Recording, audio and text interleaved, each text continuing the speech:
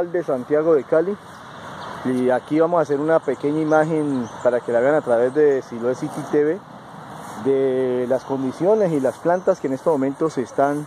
eh, realizando, el trabajo que realiza aquí en el vivero para las diferentes siembras y jornadas que se realizan en los barrios, en las zonas verdes del municipio y embellecimiento de nuestra ciudad. Ahí al fondo he puesto todas las eras y todos los espacios donde vemos cada una de las especies de plantas que se ubican, se le hace un proceso y que finalmente vienen aquí después de haber sido embolsadas para que comience a, a crecer y aquí se recogen para sacarlas pues hacia la calle.